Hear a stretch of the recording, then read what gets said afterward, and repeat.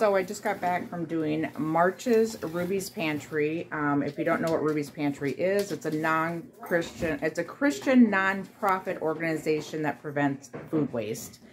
And for $22, you can get um, one bundle.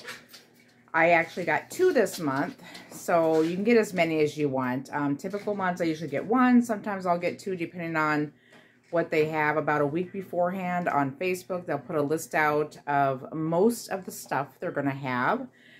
But um, I know that these Ruby's Pantries are in Minnesota, Wisconsin, and I believe they have some now in North Dakota. Um, you go to rubyspantry.org to find um, their locations. But let me show you what I got this month. I did, like I said, two units for, and it came total of $44. So let me show you what I got. So here's an overview of everything I got for that $44. I'll start over here. I did get eight of these. My kids already got into them. Um, big things of distilled water. Let's see. It's one quart, 1.8 fluid ounces. Um, and this is a treat to have water bottles, so they got that. And then these really nice strawberries. Um, the gem pack they are, I think they're two pounds. Yep, two pounds. And I got a total of four of those. So right there was a really good deal because strawberries are kind of pricey right now, actually. All food's really pricey right now. I got four loaves of bread. I got, it looks like one wheat, one butter bread, and two of the Sara Lee Delightfuls. Oh, and then I did these breads. I got this real Italian and an English muffin bread. I got one thing of hamburger buns, one thing of sweet Hawaiian rolls, and then I got two of these fortified veggies and rice. It's just a meal kit with rice and veggies, everything in there. And then I'll probably donate these to someone who likes hot stuff because we don't eat really hot stuff in the house. Um, but it's Cheetos Flamin' Hot Mac and Cheese. We got four of those. And then we got four of these, oops, Quaker Real Medleys Apple Walnut Oatmeals. My kids will eat those up. And then we also got two packs. We've never had these. The soft tortilla cheese bowls. So one night for dinner, we will probably make taco bowls, and we could use these as the bowl part.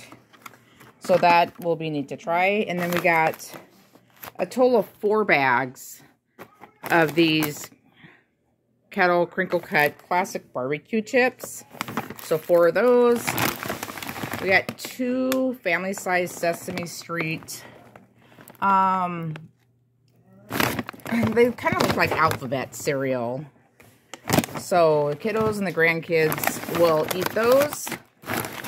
We got four boxes of Llama Rama and Sloth-tastic granola bars. So that'd be something fun for the kiddos. And like I said, that we got four of these and there's 14 granola bars. They're the value pack. So four of those. We got two of the biscuit mix. I always scratch make my biscuits. Um, so this will be kind of nice just to have um, already made. And I just need to add milk to it to make my biscuits. And then we got a total of six of these individual Caesar salads. Today is the 19th.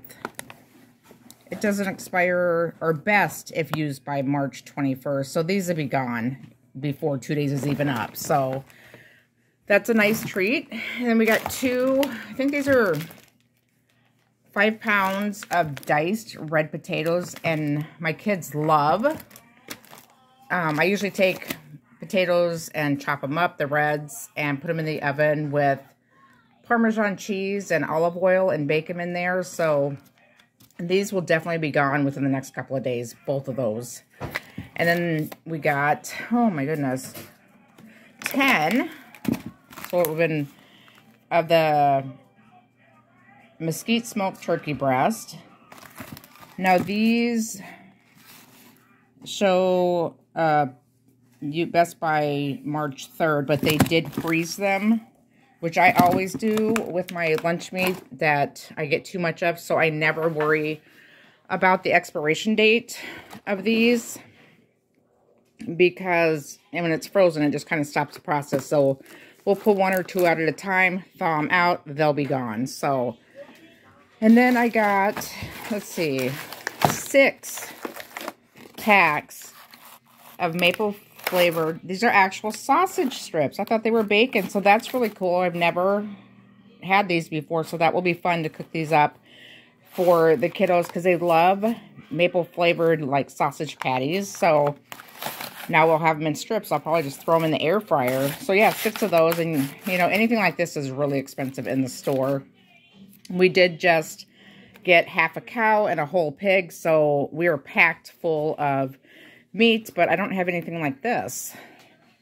And then they gave us three of these Purell hand sanitizers. I do have a ton of hand sanitizers, so I will probably put these in my donation bin for the church. Um, they make bags for the homeless, so I will, they're called blessing bags. So I'll probably donate those with the other stuff I'm donating. We got four packs of smoked Gouda. Let's see, they're six ounces each.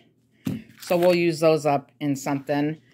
Two five pounds, bat, uh, they're frozen red mashed potatoes.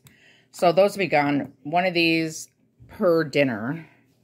Then they gave us, let's see, Ortega street taco sauce the Asada 3 chili and garlic. So we will try those probably the night we have taco bowls with that. And then they gave us, so we got three of these, like little cookie cracker, yeah, cookies. So the kiddos will eat those. This looks like some kind of cherry-filled cake. They can fight over there. So there's only two in there. And then, I don't know what these are, sweet toast with like a cream on the inside. And then we got four packs of cage-free boiled eggs. My kids, I have these gone in a hot minute. So, like I said, if you live in Minnesota, Wisconsin, or North Dakota, Ruby's Pantry, all this, $44. I mean, you can't beat it. So this really fills in our food budget, especially with the price of food right now is insane. So we've got to cut corners and use resources like this